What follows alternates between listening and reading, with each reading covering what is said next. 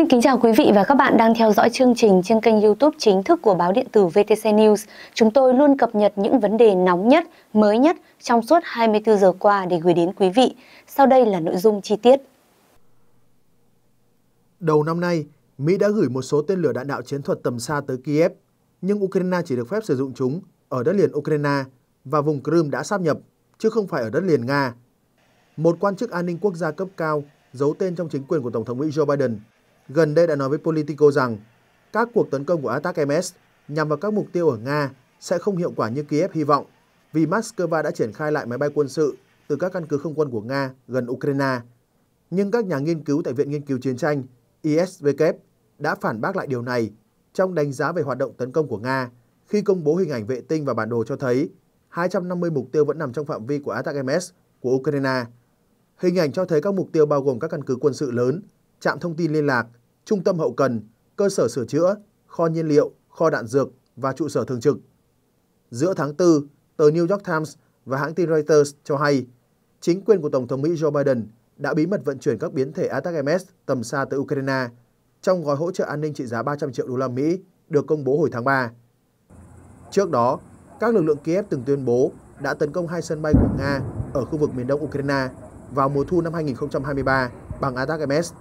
Ukraine đã sử dụng phiên bản M39 của Atac MS mang theo bom chùm có tầm bắn 165 km để tập kích hai sân bay Nga. Theo các chuyên gia, phiên bản M39 đạt hiệu quả chống lại các mục tiêu phân tán và không được bảo vệ như trực thăng đang đỗ. Tình báo phương Tây cho hay hai cuộc tấn công của Ukraine đã phá hủy hơn chục trực thăng của Nga, cùng một bệ phóng tên lửa phòng không, các phương tiện quân sự và kho đạn dược. Tổng thống Ukraine Volodymyr Zelensky cũng khẳng định Atac MS đã chứng minh được năng lực. Thời điểm đó, các nhà lập pháp Mỹ cho rằng trong vài ngày tới, Ukraine sẽ có thể nhận được thêm nhiều tên lửa Attack-MS. Từ đó, Ukraine có thể tiếp tục triển khai tập kích vào các tài sản có giá trị cao của Nga ở hậu phương. Chia sẻ với tờ Business Insider, ông Dan Ray, cựu sĩ quan pháo binh của quân đội Mỹ cho hay, điều này sẽ khiến Nga phải thay đổi nhiều về chiến lược và chiến thuật. Theo ông Ray, tất cả Attack-MS đều có thể được bắn từ hệ thống tên lửa pháo binh cơ động cao HIMARS và hệ thống tên lửa phóng loạt M270 mà Ukraine đang sử dụng. Ngoài ra, các biến thể Attack-MS khác nhau có thể được sử dụng để tấn công các mục tiêu khác nhau. Cụ thể, với biến thể mang theo bom chùm, Attack-MS có thể tấn công vào các nơi tập trung quân quy mô lớn lộ thiên hoặc trong chiến hào, đồng thời phá hủy kho nhiên liệu, đạn dược và xe bọc thép được giữ ở khu vực lân cận.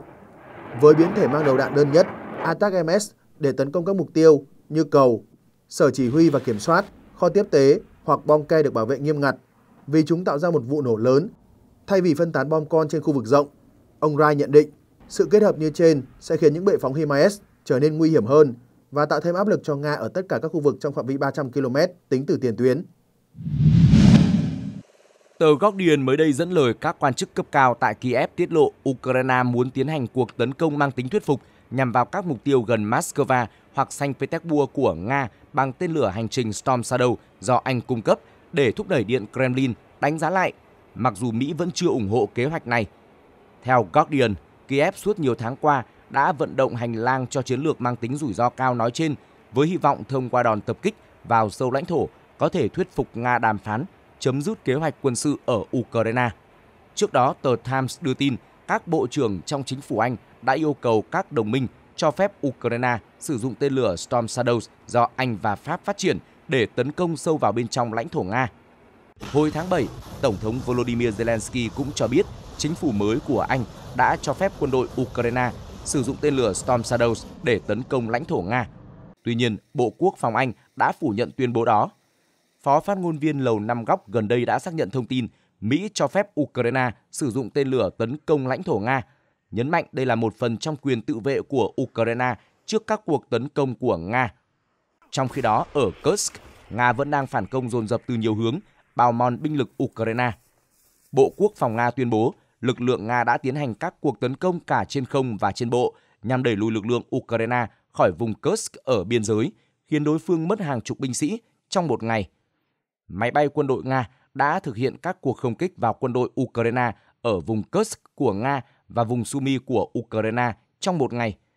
Mặc dù trước đó Tổng thống Ukraine Volodymyr Zelensky đã tuyên bố chiến dịch của Kiev tại tỉnh Kursk của Nga đã đạt được mục tiêu là ngăn chặn việc Moscow kiểm soát một phần tỉnh Sumy và thành phố Sumy của Ukraine. Lực lượng chính quy của Ukraine từng vượt qua vùng Sumy ở đông bắc nước này để tiến vào tỉnh Kursk của Nga. Nhưng theo tuyên bố của Bộ Quốc phòng Nga, các lực lượng vũ trang Nga tiếp tục đẩy lùi nỗ lực xâm nhập của quân đội Ukraine vào lãnh thổ Nga. Ukraine đã mất hàng trăm binh sĩ ở Kursk trong một ngày gần đây, đồng thời tuyên bố chiến dịch tấn công quân đội Ukraine vẫn tiếp tục. Theo Sky News, ứng cử viên Tổng thống Mỹ của Đảng Cộng hòa Donald Trump trước đó tuyên bố với các nước thành viên NATO không chi đủ tiền cho quốc phòng rằng ông sẽ để Nga làm bất cứ điều gì nước này muốn và đe dọa rút Mỹ khỏi liên minh. Sự không chắc chắn về lập trường của ông Trump đã được khuếch đại sau khi ông chọn người chỉ trích gay gắt việc Mỹ viện trợ cho Ukraine, JD Vance, làm bạn đồng hành tranh cử. Tuy nhiên, Tổng thống Ukraine Volodymyr Zelensky cho hay ông chỉ nhận được những thông điệp tích cực từ ông Trump trong cuộc điện đàm giữa hai người hồi tháng trước. Ông Zelensky nói với các phóng viên Ấn Độ sau khi Thủ tướng Ấn Độ Narendra Modi có mặt tại Ukraine rằng tôi nhận được thông điệp rằng ông Trump sẽ ủng hộ Ukraine và làm mọi việc để chấm dứt xung đột. Người đứng đầu Ukraine nói thêm, ông Trump đã đảm bảo với ông rằng sẽ làm mọi thứ có thể để Ukraine độc lập, châu Âu và tự do. Đó là những thông điệp tôi nhận trực tiếp từ ông Trump. Chúng tôi sẽ gặp nhau vào tháng 11 sau khi cuộc bầu cử Tổng thống Mỹ diễn ra. Trong khi đó, theo bài phân tích được trang Asia Times của ông Matthew Sussex, phó giáo sư tại Trung tâm Nghiên cứu Chiến lược và Quốc phòng thuộc Đại học Quốc gia Australia về chiến dịch đột kích của Ukraine tại vùng Kursk, việc Ukraine bất ngờ tiến vào vùng biên giới Kursk có thể xem như một bước đột phá về mặt chiến thuật và đem lại nhiều lợi thế cho Kiev. Ông Sussex cho biết, trong thời gian qua, người dân Ukraine đã phải làm quen với những thông tin ảm đạm từ tiền tuyến. Nhưng chiến dịch Kursk đã thay đổi tất cả lực lượng Ukraine đã thành công chuyển trọng tâm xung đột tới lãnh thổ Nga và truyền thông Ukraine đang liên tục đưa tin về khu vực này. Về mặt chiến thuật, quân đội Ukraine đã tập trung vào việc giành quyền kiểm soát các khu định cư như Suza, nơi tập trung hệ thống đường sắt và đường ống khí đốt quan trọng của Nga. Chiến lược này khiến Moscow gặp khó khăn trong việc viện trợ cho tiền tuyến, buộc phải điều động thêm lực lượng để bảo vệ biên giới. Qua đó, giảm bớt sức ép cho lực lượng Ukraine tại Donetsk và nhiều mặt trận khác. Ngoài một diện tích lãnh thổ đáng kể, Ukraine cũng bắt giữ thêm nhiều tù binh ở Kursk. Tổng thống Volodymyr Zelensky nói rằng việc có một lượng lớn tù binh sẽ làm Kiev có lợi thế hơn trong các cuộc đàm phán và có thể giúp Ukraine bổ sung lại lực lượng thông qua việc trao đổi. Về mặt chính trị, ông Sussex cho rằng chiến dịch ở Kursk đã giúp Kiev tạo áp lực ngược lại cho Tổng thống Vladimir Putin và các tướng lĩnh của Nga.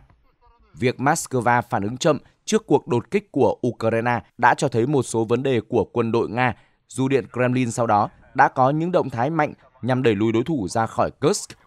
Theo Pravda và Telegraph, trong bài phát biểu tối ngày 25 tháng 8, ông Zelensky cho biết các lực lượng Ukraine đã tiến thêm từ 1 đến 3 km ở vùng Kursk của Nga và kiểm soát thêm hai khu định cư. Người đứng đầu Ukraine cũng cảnh báo nước này sẽ sớm có thể tấn công bất cứ nơi nào ở Nga là nguồn gốc đe dọa đối với đất nước và người dân Ukraine. Ông Zelensky tuyên bố Nga muốn phá hủy Ukraine, song chiến sự đã quay lại Nga. Đối thủ của chúng tôi sẽ biết, sớm hoặc muộn, một phản ứng của Ukraine sẽ chạm tới bất kỳ điểm nào ở Nga vốn bị coi là nguồn gốc đe dọa đất nước và người dân của chúng tôi. Đại sứ Nga tại Mỹ Anatoly Antonov nói rằng Tổng thống Vladimir Putin đã quyết định cách ứng phó với cuộc tấn công của Ukraine vào tỉnh Kursk. Đại sứ Antonov lưu ý, ông hoàn toàn tin tưởng rằng tất cả những người chịu trách nhiệm về những gì đã xảy ra ở Kursk sẽ bị trừng phạt nghiêm khắc. Bình luận vấn đề này, ông Antonov cho rằng hoạt động của Ukraine sẽ thất bại.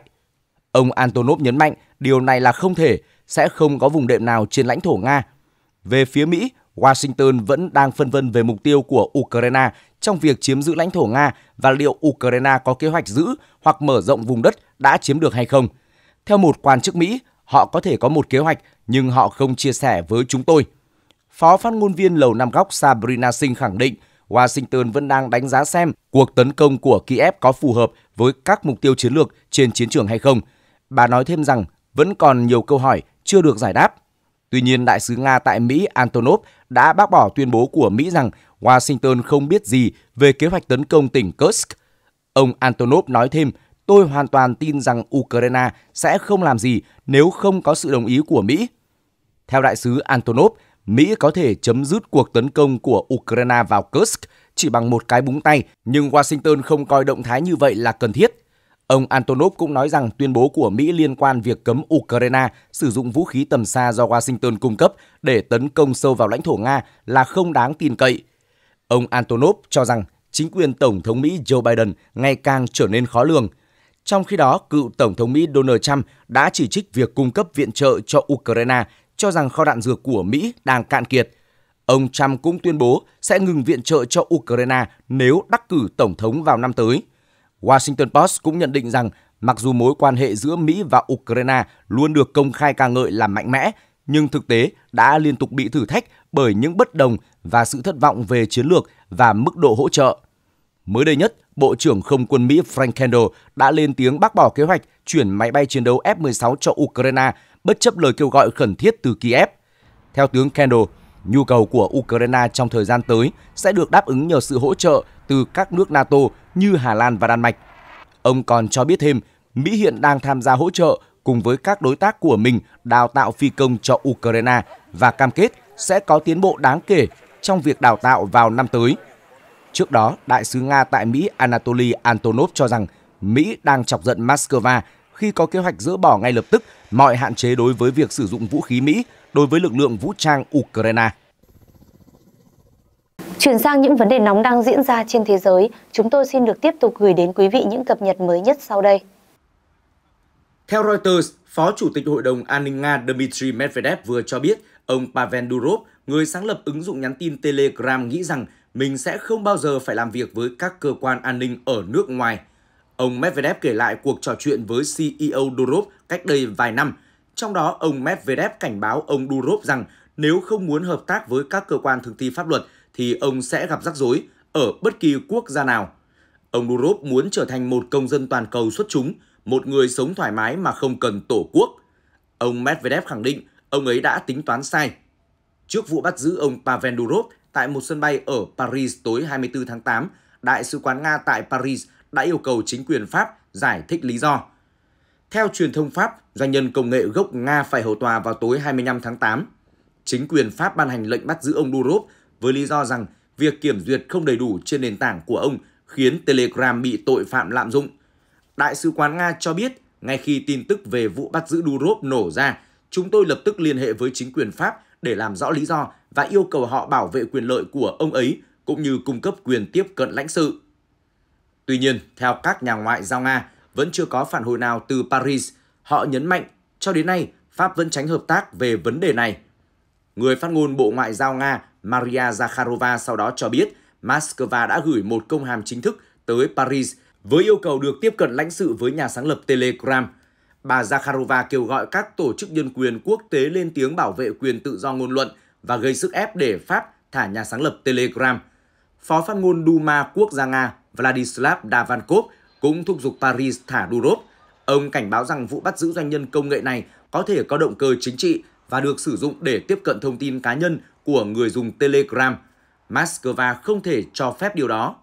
Theo RT, ông Dmitry Medvedev cũng cho rằng việc bắt giữ nhà sáng lập Telegram có thể khiến chính quyền Pháp phải trả giá đắt.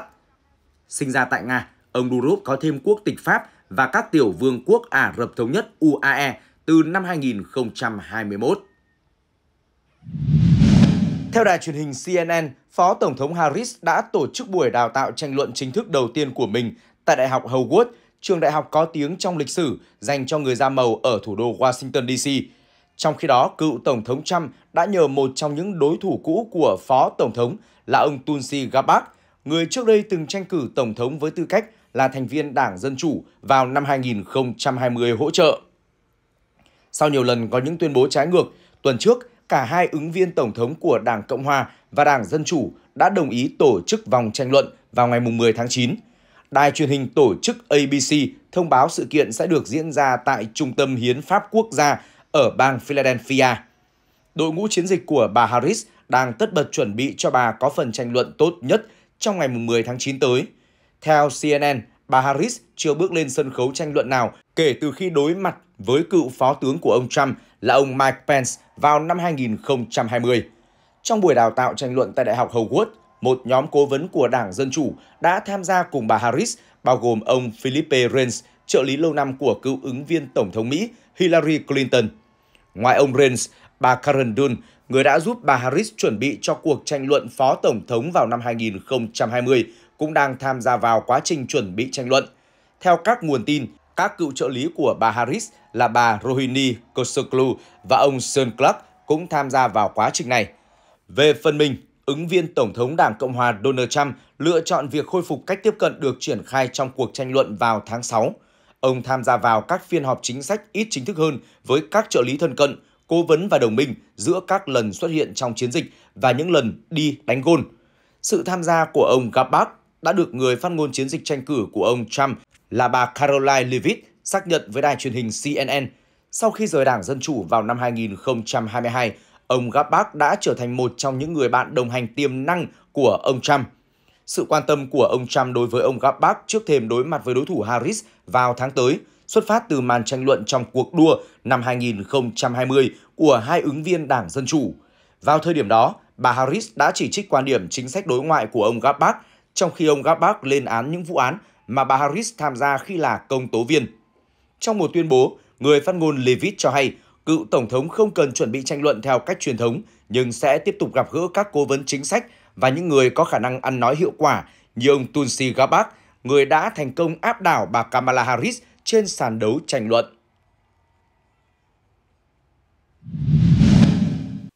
Chuyến đi mới đây trên chiếc MV-22 charter của Phó Tổng thống Mỹ Harris tới Đại hội Toàn quốc của Đảng Dân Chủ đã thu hút rất nhiều sự chú ý.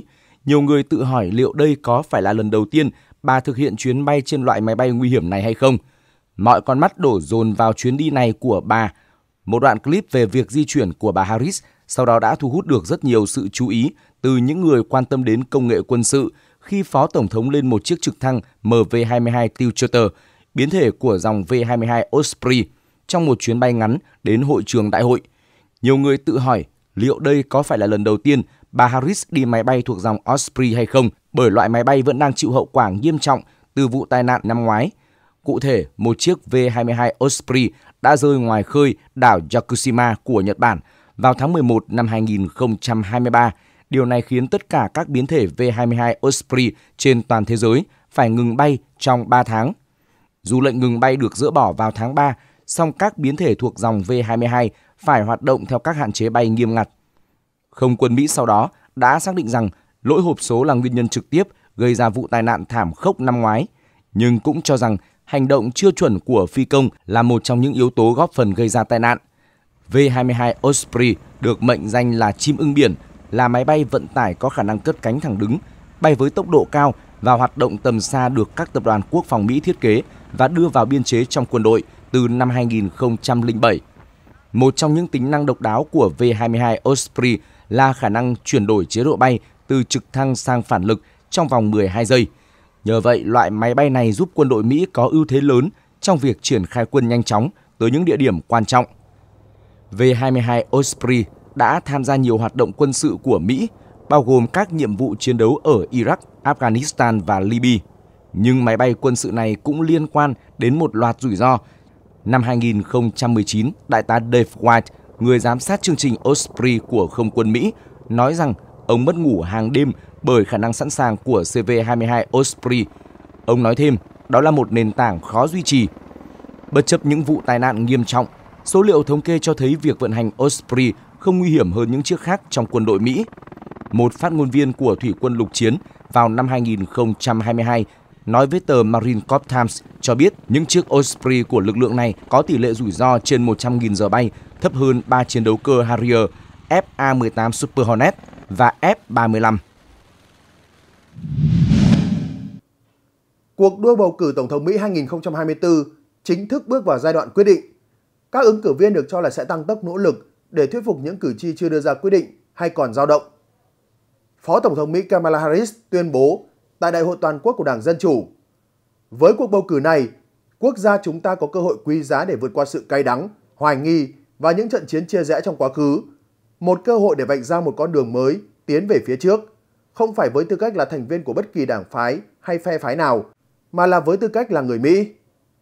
Bà Harris đã làm nên lịch sử khi trở thành nữ ứng cử viên tổng thống da màu đầu tiên và có gốc Nam Á đầu tiên của nước Mỹ. Tuy nhiên, một loạt thử thách đang đợi bà ở phía trước. Cuộc phỏng vấn đầu tiên với truyền thông dự kiến vào cuối tháng này.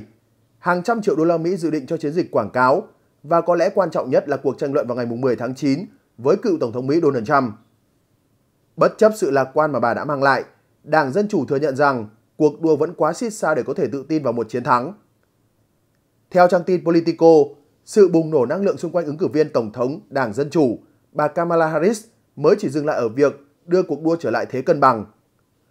Ông Trump vẫn dẫn đầu, hay ngay cả khi bị tụt lại sau, thì vẫn ở phạm vi sai số cho phép ở nhiều bang chiến trường quan trọng. Phát biểu tại một cuộc vận động tranh cử mới đây ở Arizona, ông Trump đã không ngừng chỉ trích Đại hội toàn quốc của Đảng Dân Chủ và Phó Tổng thống Kamala Harris vì đã quá tập trung vào ông, thay vì thảo luận về biên giới hay lạm phát. Đây đều là những vấn đề mà cử tri Mỹ xếp vào danh sách những mối quan tâm hàng đầu. Nhiều ý kiến cho rằng Đảng Dân Chủ phải chuẩn bị cho cả hai khả năng, đó là giai đoạn nhiệt tình đối với bà Harris sẽ đi qua và Đảng Cộng Hòa sẽ tìm cách phản công. Đảng Dân Chủ cần có các đề xuất chính sách thực sự, vững chắc, nêu rõ các kế hoạch của cặp đôi tranh cử là bà Kamala Harris và ông Tim Walz cho nước Mỹ. Giáo sư khoa học chính trị Jennifer Lawless tại Đại học Virginia nhận định, giai đoạn nhiệt tình đối với bà Harris đã kéo dài khoảng 4 tuần, khá dài. Câu hỏi đặt ra là liệu bà ấy có thể duy trì được đà này hay không? Trong khoảng 10 ngày nữa, bà sẽ có một cuộc tranh luận trực tiếp trên truyền hình. Điều đó có nghĩa là một cơ hội nữa để thúc đẩy động lực, hay ít nhất là duy trì năng lượng và sự nhiệt tình mà bà ấy đã đạt được trong suốt những tháng qua. Tỷ lệ ủng hộ đối với ông Trump đã gia tăng sau vụ ám sát ông bất thành và Đại hội Đảng Cộng Hòa hồi tháng 7, bất chấp sự tham gia của bà Harris vào cuộc đua. Một cuộc thăm dò của Trung tâm Nghiên cứu Pew vào đầu tháng 8 cho thấy 42% người trưởng thành tại Mỹ ủng hộ ông Trump, một sự cải thiện rõ rệt so với 3 tháng trước, dù sự ủng hộ đối với bà Harris đã tăng. Điều này cũng thể hiện mức độ ủng hộ cao nhất dành cho ông Trump mà Pew ghi nhận được trong ít nhất 2 năm trở lại đây. Liên quan đến diễn biến xung đột ở Trung Đông, chúng tôi xin được gửi đến quý vị những cập nhật mới nhất tiếp theo sau đây. Thủ tướng Israel Benjamin Netanyahu cảnh báo rằng sẽ không dừng lại sau các cuộc không kích vào Liban nhằm vào nhóm vũ trang Hezbollah. Ông Netanyahu phát biểu tại cuộc họp nội các, chúng ta đang tấn công Hezbollah với những đòn đánh bất ngờ và áp đảo. Đây là một bước tiến nữa nhằm thay đổi tình hình ở phía Bắc và đảm bảo an toàn để công dân của chúng ta có thể trở về nhà. Và tôi xin nhắc lại, đây chưa phải là dấu chấm hết. Ông Netanyahu cho biết quân đội Israel đã phá hủy hàng nghìn rocket tầm ngắn, tất cả đều nhằm vào dân thường và lực lượng của chúng ta ở Galilee. Ông Netanyahu nói thêm, IDF, quân đội Israel đã đánh chặn tất cả các máy bay không người lái mà Hezbollah phóng vào một mục tiêu chiến lược ở trung tâm Israel, nhưng không tiết lộ mục tiêu là gì. Tuy nhiên, truyền thông Israel đưa tin rằng mục tiêu mà Hezbollah nhắm đến là trụ sở của cơ quan tình báo Mossad gần Tel Aviv. Cũng trong cuộc họp nội các, Thủ tướng Netanyahu cho biết Israel sẽ thực hiện mọi biện pháp cần thiết để tự vệ và rằng bất kỳ ai làm hại chúng tôi, chúng tôi sẽ đáp trả tương xứng. Theo IDF, Israel hứng chịu rất ít thiệt hại từ các cuộc tấn công bằng tên lửa của Hezbollah. Phát ngôn viên quân đội Israel, Trung tá Nadav Sosani cho biết, chúng tôi vẫn đang trong quá trình đánh giá tình hình hậu quả của cuộc tấn công, nhưng tôi có thể nói với các bạn rằng chỉ có một chút thiệt hại, rất ít thiệt hại. Trong khi đó, Nhật báo Washington Post dẫn nguồn tin giấu tên tiết lộ, ông Netanyahu đang chịu áp lực phải đạt được thỏa thuận nhằm mở đường cho việc thả những con tin Israel còn bị giam giữ ở giải Gaza. Trước đó, trong các cuộc điện đàm với những người đồng cấp Anh và Pháp, tân Ngoại trưởng Iran Abbas Araghchi khẳng định nước này có quyền trả đũa Israel vì vụ ám sát thủ lĩnh chính trị của Hamas. Tại Mỹ, người phát ngôn của Hội đồng An ninh Quốc gia Sean Savet cho biết Tổng thống Joe Biden đang theo dõi chặt chẽ các diễn biến ở Israel và Liban. Theo Lầu Năm Góc, Bộ trưởng Quốc phòng Lloyd Austin đã trao đổi với người đồng cấp Joab Galan về các biện pháp phòng thủ của Israel chống lại Hezbollah. Tuyên bố cho biết, Bộ trưởng Austin tái khẳng định cam kết sắt đá của Mỹ đối với việc phòng thủ của Israel nhằm chống lại bất kỳ cuộc tấn công nào từ Iran và các đối tác cũng như lực lượng ủy nhiệm trong khu vực. Lực lượng Houthi ở Yemen đã đề cập cuộc tấn công quy mô lớn gần đây của Hezbollah bằng tên lửa và máy bay không người lái vào Israel và tuyên bố sẽ tiến hành cuộc tấn công của riêng họ để đáp trả Israel. Tuyên bố của Houthi cho biết, chúng tôi chúc mừng Hezbollah và lãnh đạo của họ về cuộc tấn công lớn và dũng cảm mà lực lượng kháng chiến thực hiện. Phía Houthi cho rằng đây là phản ứng mạnh mẽ và hiệu quả, cho thấy lực lượng kháng chiến có năng lực, mạnh mẽ và trung thực với lời hứa và tuyên bố của mình. Houthi cũng cam kết sẽ tiến hành cuộc tấn công của riêng họ để đáp trả cuộc không kích của Israel hôm 20 tháng 7 nhằm vào cảng biển của lực lượng này ở thành phố Hodeida, đồng thời nhấn mạnh một lần nữa rằng phản ứng của Yemen chắc chắn sẽ xảy ra. Đáp lại, Mỹ cũng nhắc lại cam kết bảo vệ Israel một cách tuyệt đối và cho biết đã bố trí thế trận để hỗ trợ đồng minh. Thiếu tướng Pat Ryder, người phát ngôn Lầu Năm Góc cho biết, Bộ trưởng Quốc phòng Mỹ Lloyd Austin đã có cuộc điện đàm với người đồng cấp Israel Yoav Galan về việc phòng thủ của Israel trước khi Hezbollah tấn công. Trong những tuần vừa qua, quân đội Mỹ đã tăng cường hiện diện ở Trung Đông nhằm ứng phó với các cuộc tấn công mới của Iran và các đồng minh. Mỹ đã điều nhóm tấn công tàu sân bay Abraham Lincoln và triển khai phi đội máy bay chiến đấu F-22 và một tàu ngầm mang tên lửa hành trình dẫn đường tới Trung Đông. Iran trước đó từng tuyên bố sẽ trả đũa vụ sát hại một thủ lĩnh Hamas ở Iran cuối tháng trước, đồng thời cáo buộc Israel thực hiện vụ việc trên. Hezbollah cũng dọa sẽ trả đũa Israel sau việc một thủ lĩnh của Hezbollah bị sát hại ở Liban tháng trước. Phía Mỹ cho biết sẽ tiếp tục giám sát các động thái của Iran và sẽ thảo luận các kịch bản với Israel nhằm chuẩn bị các biện pháp đối phó. Chủ tịch Hội đồng Tham mưu trưởng Liên quân Mỹ, tướng Quinton Brown cũng đã bắt đầu chuyến thăm không báo trước tới Trung Đông, bao gồm Jordani, Ai Cập và Israel, nhằm thảo luận cách thức ngăn chặn gia tăng căng thẳng khu vực. Chuyến thăm được thực hiện trong bối cảnh Mỹ đang tìm cách đạt được một thỏa thuận ngừng bắn và trao đổi con tin ở Gaza giữa Israel và Hamas, điều mà Mỹ kỳ vọng sẽ giúp hạ nhiệt căng thẳng trong khu vực. Trong khi đó, Tổng thống Mỹ Joe Biden đã điện đàm với lãnh đạo Qatar và Ai Cập nhằm thúc đẩy thỏa thuận ngừng bắn ở Gaza trong bối cảnh các nhà đàm phán gặp nhau ở Cairo để tìm cách thu hẹp các khác biệt. Nhà Trắng cho biết cuộc đàm phán ở Cairo mang tính xây dựng và Mỹ kêu gọi các bên phối hợp nhằm sớm hoàn tất một thỏa thuận. Bất đồng chính hiện nay, đó là việc Israel tiếp tục mong muốn được duy trì các lực lượng của nước này dọc hành lang Philadelphia giữa Ai Cập và Gaza. Mới đây, Israel thông báo đưa được thi thể 6 con tin ra khỏi Gaza sau chiến dịch trong đêm tại Khan Yunis. Hầu hết con tin đều là nam giới, trong độ tuổi 75 đến 80, trong đó một người còn sống và 5 con tin còn lại đều đã được quân đội Israel xác nhận là tử vong trong những tháng gần đây. Bộ trưởng Quốc phòng Israel Joab Galan cho biết thành viên lực lượng phòng vệ Israel IDF và cơ quan an ninh Israel ISA đã đột nhập đường hầm của Hamas trong chiến dịch phức tạp để đưa các thi thể ra ngoài.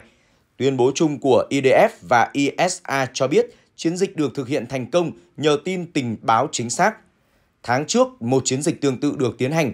Công binh Israel đã tìm thấy thi thể của bốn người đàn ông và một phụ nữ. Tất cả đều là con tin Israel bị bắt cóc trong cuộc đột kích của Hamas vào miền nam đất nước ngày 7 tháng 10 năm 2023. Cuộc tìm kiếm này diễn ra sau khi một người Palestine bị lực lượng Israel giam ở Gaza tiết lộ về nơi họ cần tìm kiếm. Những chiến dịch tìm kiếm như vậy đang diễn ra thường xuyên hơn. Tuy nhiên, hoạt động tìm kiếm con tin còn sống khó khăn hơn nhiều khi chúng đòi hỏi thông tin tình báo chính xác hơn và có nhiều khả năng xảy ra sai sót hơn. Các con tin ở Gaza đang được di chuyển khắp nơi. Lực lượng Hamas đưa một số người từ căn hộ này sang căn hộ khác để che giấu tung tích của họ, trong khi những người khác được cho là đang ở trong các đường hầm dưới lòng đất. Trong khi đó, tại một phòng phản ứng tổng hợp được Israel thiết lập vào mùa thu năm ngoái, các nhà phân tích quân sự tình báo của Mỹ và Israel chia sẻ hình ảnh từ máy bay không người lái và vệ tinh cùng các liên lạc chặn được và bất kỳ thông tin nào có thể đưa ra gợi ý về địa điểm của con tin. Cả Anh và Mỹ đều đóng vai trò quan trọng trong việc theo dõi hoạt động di chuyển con tin của Hamas. Họ đang cố gắng tìm hiểu xem Hamas giữ con tin ở một nơi trong bao lâu trước khi chuyển họ sang nơi khác. Nếu có thể xây dựng được một mô hình, các quan chức quân sự và tình báo có thể xác định rõ hơn khoảng thời gian cần thiết để thực hiện hoạt động giải cứu. Thông tin tình báo thu thập được thường là các mảnh rời rạc, một manh mối về con tin cụ thể vẫn còn sống hoặc manh mối về nhóm nào đang giam giữ con tin có thể không giúp xác định chính xác địa điểm, nhưng nó có thể đưa ra gợi ý về khu vực nào ở Gaza cần tăng cường thu thập thông tin. Mặc dù không ai có thể chắc chắn thông tin đó tốt đến mức nào, nhưng khi Israel xác định được một địa điểm với mức độ tin cậy nhất định và tin rằng con tin có thể ở đó trong một thời gian nhất định thì kế hoạch cụ thể sẽ bắt đầu. Trong khi Israel đang nỗ lực tìm kiếm con tin, giới lãnh đạo Hamas vẫn tìm mọi cách để che giấu bởi họ nhận thức được rằng họ không thể để mất đòn bẩy tốt nhất trong các cuộc đàm phán ngừng bắn. Cả Israel và Mỹ đều cho rằng Hamas hiện nay di chuyển con tin nhiều hơn so với giai đoạn đầu. Tuy nhiên, trước cuộc tấn công tàn khốc của Israel vào giải Gaza, các khu vực mà Hamas có thể che giấu con tin đã bị thu hẹp và cơ hội phát hiện ra những địa điểm như vậy ngày càng tăng. Nội dung vừa rồi đã khép lại chương trình Điểm nóng thế giới trên kênh YouTube chính thức của báo điện tử VTC News. Cảm ơn quý vị đã quan tâm theo dõi. Xin kính chào và hẹn gặp lại.